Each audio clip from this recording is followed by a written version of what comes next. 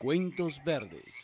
Presenta la Corporación Autónoma Regional del Valle del Cauca, comprometidos con la vida.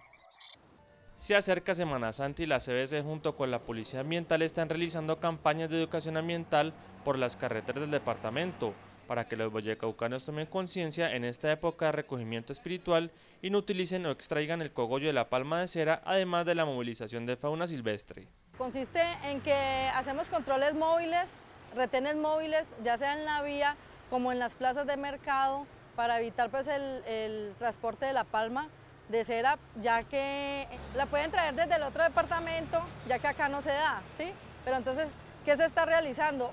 Eh, antes de, Semana Santa o los domingos de Ramos, se está dando una palma, ¿sí? Para, como símbolo, pues, para que no saquen, no compren la palma de cera. Bueno, nos encontramos aquí en el corregimiento de Puente Tierra, realizando unos controles previos a la Semana Mayor, a la Semana Santa. ¿Qué queremos con estos controles? Estamos haciendo primero que todo el tema, todo el tema de prevención con la comunidad, haciéndole un llamado a todos nuestros viajeros a que en esta Semana Santa no utilicemos especies de fauna silvestre, que no utilicemos especies de flora nativa Además de Puente Tierra, las actividades de control y vigilancia se estarán realizando en zonas estratégicas o corredores viales del Valle del Cauca, como la vía Cabal Pombo que conduce hacia Buenaventura o la panorama que atraviesa el departamento de sur a norte, entre otros lugares.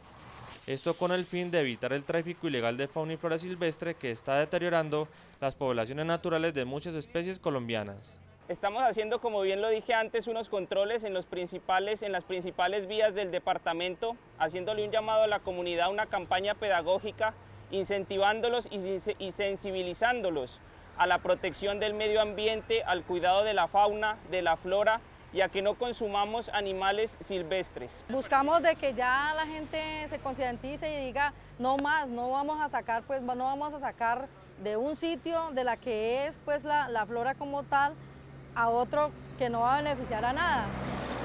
Lo mismo que la fauna.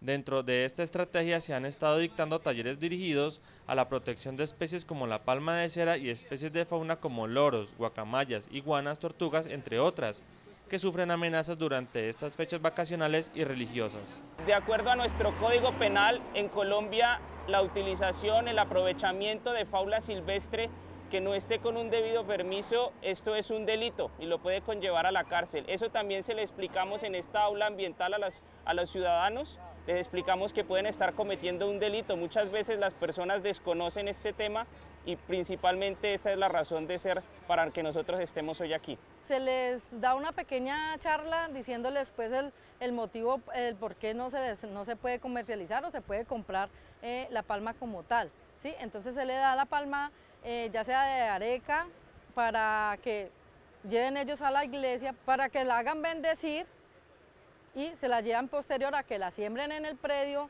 en, ya sea en el predio como a los linderos o en la finca. De igual forma, la CBC hace un llamado a la comunidad para seguir trabajando conjuntamente no solo en fechas especiales, sino durante todo el año y así ayudar a la conservación del medio ambiente.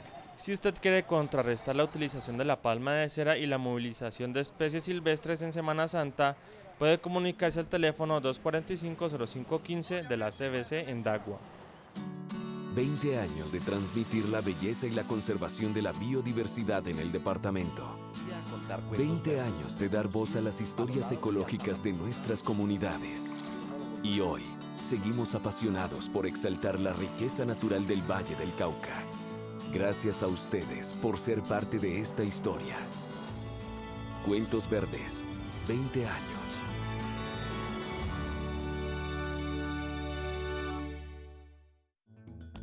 Conéctese con nosotros al correo electrónico cbcnoticias.cbc.gov.co o escríbanos a la carrera 56, número 1136, edificio de la CBC en Santiago de Cali.